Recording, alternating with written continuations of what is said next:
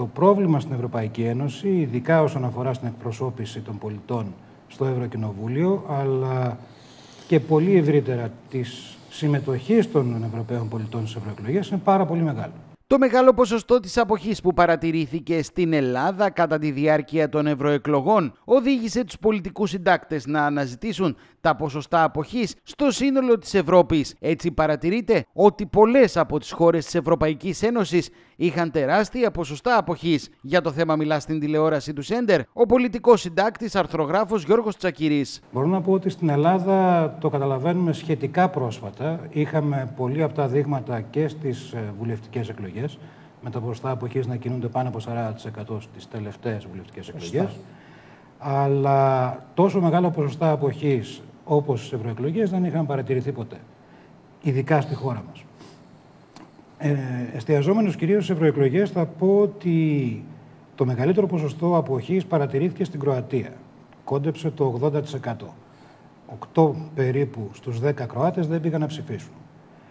Το αμέσως επόμενο ήταν στη Λιθουανία με 70 κάτι 7 στους 10. Χωρίς να εξαιρούνται και άλλες χώρες οι οποίες έχουν ένα πάρα πολύ κοινό γνώρισμα. Είναι όλες οι χώρες της κεντρικής και ανατολικής Ευρώπης. Οι χώρες αυτές που ενσωματώθηκαν στην Ευρωπαϊκή Ένωση με την μεγάλη διεύρυνση του 2004 όταν μπήκαν στην Ευρωπαϊκή Ένωση και η Μάλτα και η Κύπρος. Τι συμβαίνει λοιπόν; Γιατί οι πολίτες της Ευρωπαϊκής Ένωσης επιλέγουν να μην συμμετέχουν στη μοναδική διαδικασία η οποία τους περιλαμβάνει στην Ευρωπαϊκή Ένωση; Γιατί το Ευρωκοινοβούλιο είναι το μοναδικό θεσμικό όργανο από τα κύρια θεσμικά όργανα της Ευρωπαϊκής Ένωσης, το οποίο εκπροσωπεί τους πολίτες. Δεν υπάρχει κανένα άλλο. Είτε η Ευρωπαϊκή Επιτροπή, είτε τα Συμβούλια Υπουργών, είτε το Ευρωπαϊκό Συμβούλιο, οποιοδήποτε άλλο θεσμικό όργανο της Ευρωπαϊκής Ένωσης δεν έχει καμία εκπροσώπηση των πολιτών.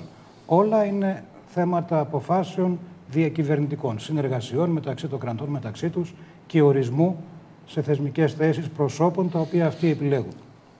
Γιατί λοιπόν οι πολίτες της Ευρωπαϊκής Ένωσης απέχουν, κατέληξα σε κάποιες προτάσεις εντός εισαγωγικών συμπεράσματα, τα οποία έχουν να κάνουν κυρίως με το ότι καταρχήν παρατηρούμε τα τελευταία χρόνια ένα πάρα πολύ μεγάλο έλλειμμα ηγετών. Δεν υπάρχουν προσωπικότητες του ελληνικού ενός Κωνσταντίνου Καραμαλή, ενός Ανδρέα Παπανδρέου, ενός Δισκάρντα Στέν, ενός ε, Πολ Ανδρή Σπακ, ε, που να προσελκύουν ουσιαστικά τους πολίτες της Ευρωπαϊκής Ένωσης και να συσπηρώνουν, αν θέλεις, με την παρουσία τους, αλλά και με τις πολιτικές τους, τους πολίτες τους, ώστε να πάνε και να εκφράσουν τη γνώμη τους. Και αυτό παρατηρείται γιατί... Δεν εμπνέονται, δεν τους εμπνέουν, δεν πείθουν γενικότερα. Και τις ευρωεκλογές του 99 περίπου. Το ποσοστά αποχής ήταν της τάξης του 30% ένα λογικό θα μπορούσε να πει κάποιος ποσοστό, αν συνυπολογίσουμε και κάποιους άλλους παράγοντες. Ήταν και τότε μόνο στι ευρωεκλογέ, ορφανές, γιατί παίζει και αυτό ρόλο.